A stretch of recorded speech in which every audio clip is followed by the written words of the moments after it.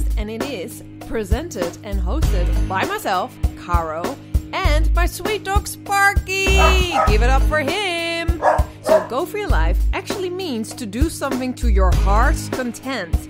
It is a phrase used in Australia and the United Kingdom as an expression of encouragement. So, this podcast is to encourage, to inspire, and to uplift. I hope you're ready. Enjoy. Welcome back to another episode of Go for Your Life, and I'm here with well, my my boyfriend's boyfriend, as I always say. Um, Miguel has a very um, you know big bromance with this guy, uh, Gab de la Vega. Thank you so much for being here, Gab. Hi, Karo. Nice to have you. Nice, thanks for having me. It's nice to be here. Pleasure. Such a pleasure from uh, from Holland to Italy. Um, and I I had to think of the last time we were together, I nearly poisoned you with my way too hot chili um, because you were a bit sick when you were in Portugal. Do you remember? Like you. Were... I I do remember. Actually, I don't think you poisoned. I think you healed me. I think uh, because I, I was actually quite sick that yeah, time. You, I remember because you and then you had the gig and then I was like, oh, I I I'll make you a nice chili. It's nice and hot. You were just like sweating so much and but then I eventually could play the show that night. So yeah, you were you were. It was a great show. I, I have I have good memories for uh, uh, from that chili, to be honest. So I don't I don't think I don't think of it as a negative thing. Okay, good, good, good. good. Very good. Yeah. And I like spicy food. And then of course you know we uh, Corona happened, so we haven't been able to actually be together. But this is you know at least a way of uh, of being together in the Zoom room somehow. You know. There's yeah, I, am very excited about it. I mean, it's. Yeah we're lucky that we have this kind of technology that helps us to, to keep in touch and do these kind of things.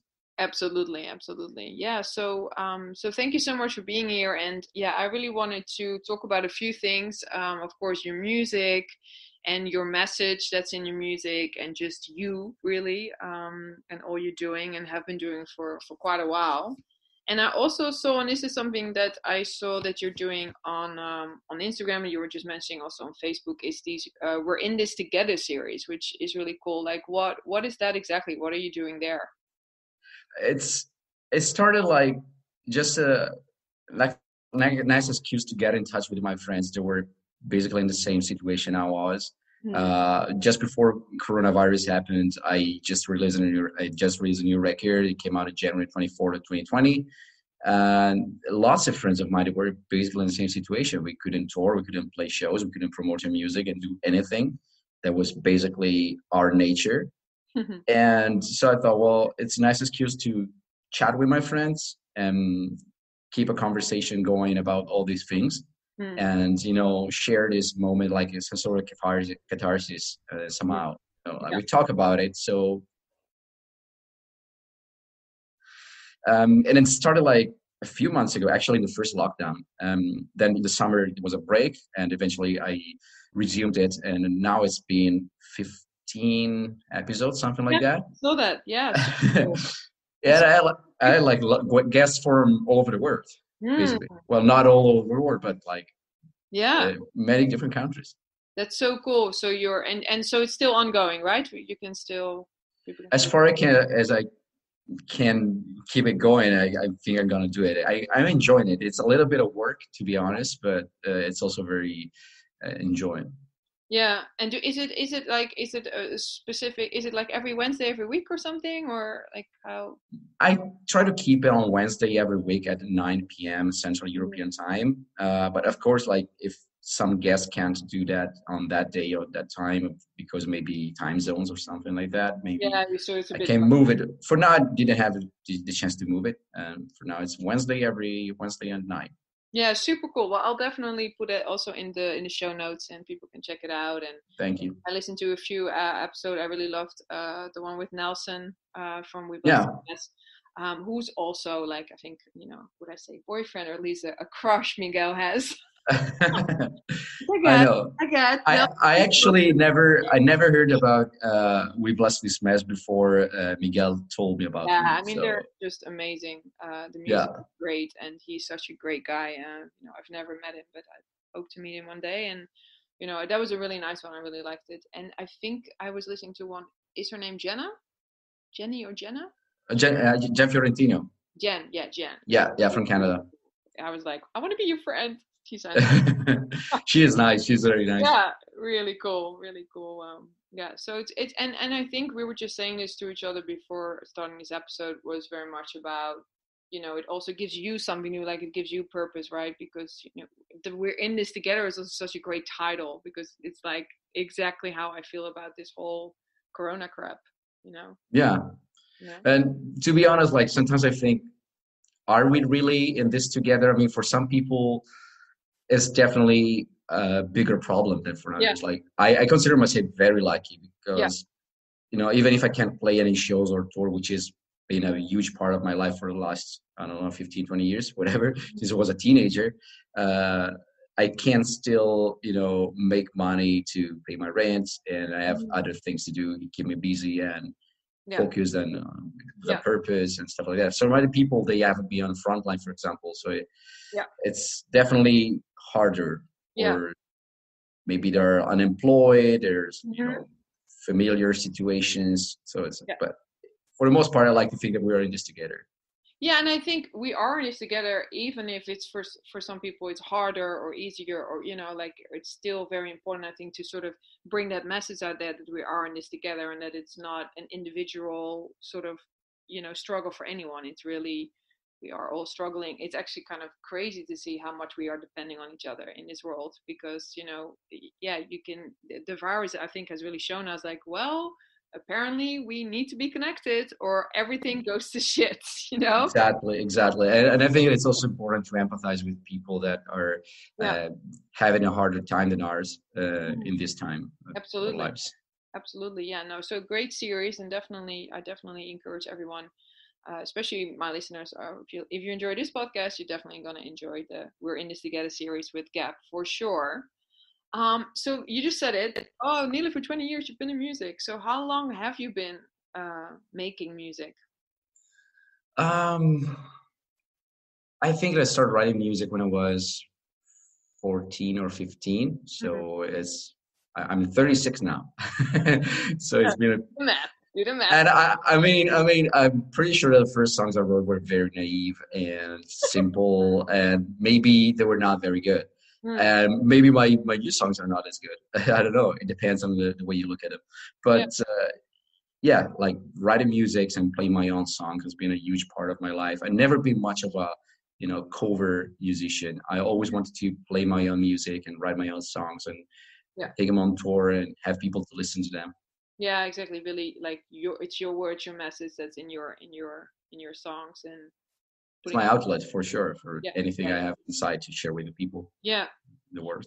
And so you're saying, so okay, I was 14 when I started writing my music. Were you also already vegan at that time, or is that is that came in later in your life? That came in later. I became a vegetarian when I was 20, I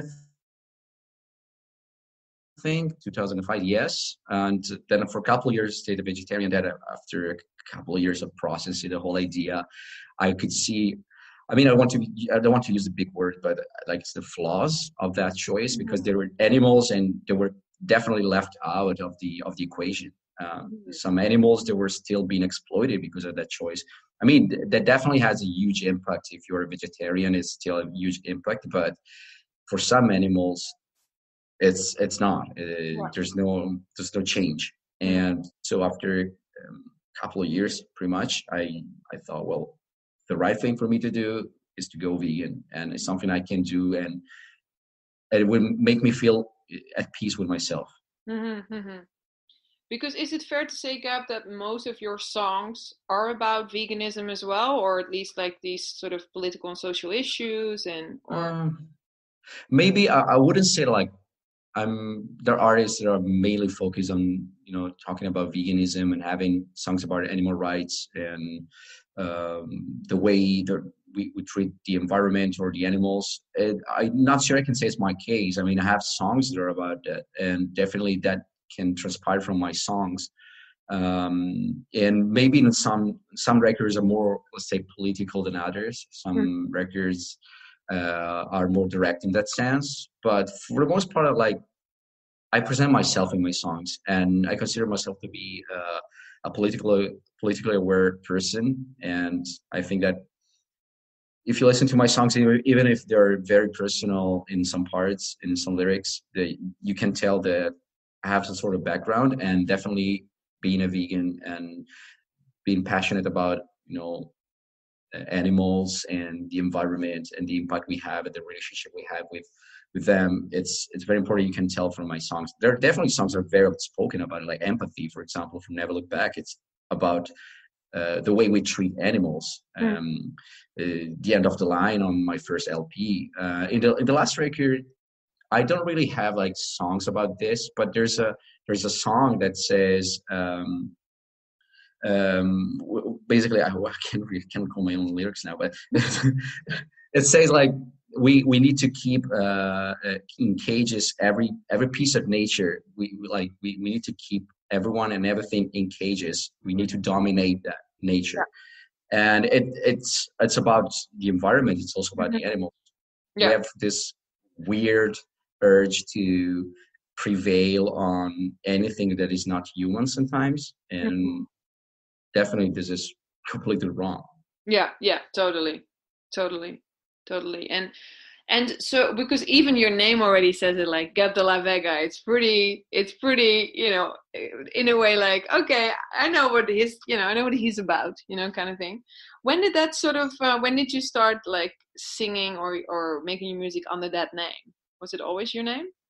Uh, no um because i used to play in a hardcore punk rock band called the Smashers. We we chose our name when I was 16 or 15, so that was a very bad name. Anyway, uh, and that kept going for a while. Um, but since 2011, uh, actually thanks thanks to Keegan uh, Keegan Kuhn, I used to play uh, as True Nature back then. So he came on tour in Europe, and I set up a show for him.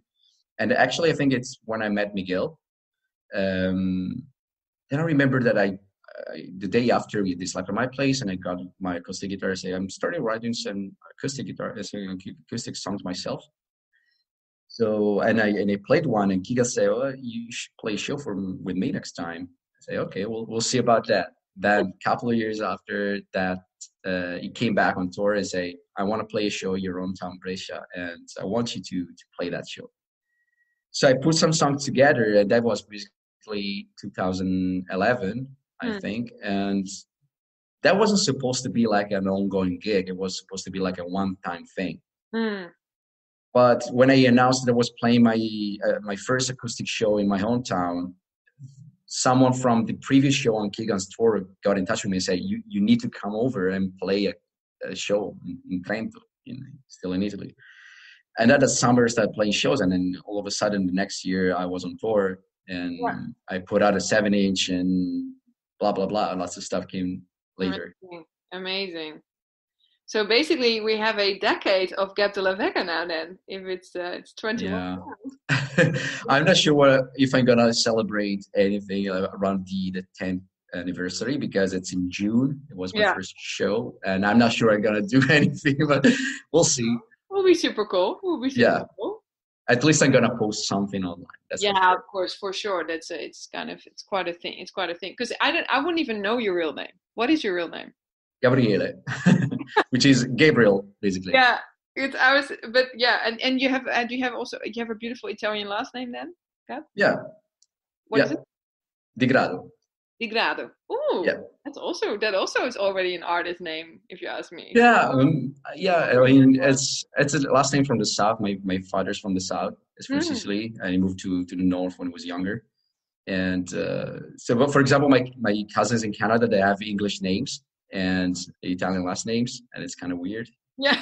Italian Canadian stuff. Yeah, yeah, yeah, yeah. Super but it's super cool. But I, I think, you know, I also love the whole Gab de la Vega because it really is, you know, it's a persona or something where, you know, you feel like, you know, I don't know. I really like that. I, I think it's a great artist name. It really suits you and your message, you know. So I think. I guess. I, I mean, it came out kind of as